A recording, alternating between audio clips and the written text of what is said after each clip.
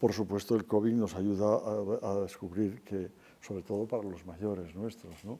el cuidado con los que le tenemos, los tenemos que tener. ¿no? El mayor eh, es un tesoro para, para la humanidad. ¿no? Todas las personas mayores son las que nos... Es una especie de biblioteca, como esa que tengo yo atrás, ¿no? donde hay autores ahí del siglo XV, del siglo XIV, son tesoro.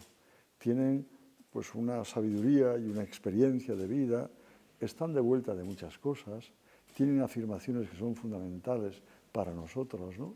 Y sobre todo, es decir, a mí me parece que, mm, no sé, una sensibilidad humana fuerte y radical nos lleva a cuidar mm, a, a todos, pero especialmente, mucho más, cuando la debilidad de fuerzas se da en nuestra vida. ¿no?